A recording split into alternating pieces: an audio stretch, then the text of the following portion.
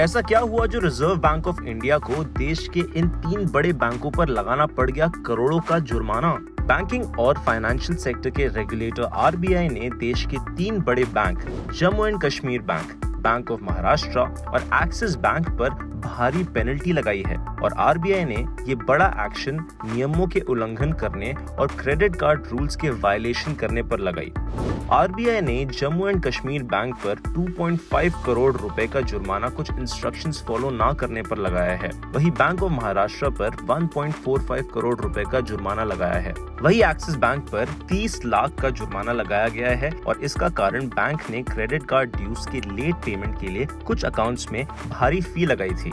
हालाँकि कस्टमर्स ने दूसरे मीडियम से बताई गई तारीख तक पेमेंट कर दी थी। ये पहली बार नहीं है जब एक्सिस बैंक पर पेनल्टी लगी है। इससे पहले भी एक्सिस बैंक पर पेनल्टी लग चुकी है, जो पिछले साल 2022 के अप्रैल में लगाई गई थी।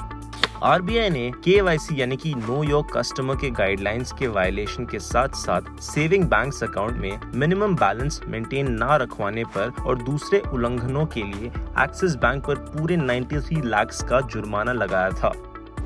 लेकिन क्या इस पेनल्टी से इन बैंकों के कस्टमर्स पर असर पड़ेगा? तो इस सवाल पर आरबीआई ने कहा कि जुर्माना रेगुलेटरी कंप्लायंस में कमियों पर बेस्ड है। इस फैसले से कस्टमर्स पर कोई भी असर नहीं होगा। उनकी सर्विसेज़ पहले की तरह ही जारी रहेगी।